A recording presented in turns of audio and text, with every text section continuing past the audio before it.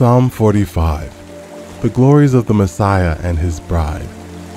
To the chief musician, set to the lilies, a contemplation of the sons of Korah, a song of love. My heart is overflowing with a good theme. I recite my composition concerning the king. My tongue is the pen of a ready writer. You are fairer than the sons of men.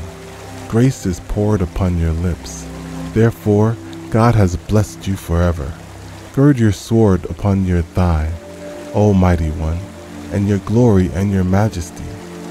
And in your majesty ride prosperously because of truth, humility, and righteousness. And your right hand shall teach you awesome things. Your arrows are sharp in the heart of the king's enemies. The peoples fall under you. Your throne, O God, is forever and ever. A scepter of righteousness is the scepter of your kingdom. You love righteousness and hate wickedness. Therefore, God, your God, has anointed you with the oil of gladness more than your companions. All your garments are scented with myrrh and aloe and cassia, out of the ivory places by which they have made you glad. King's daughters are among your honorable women.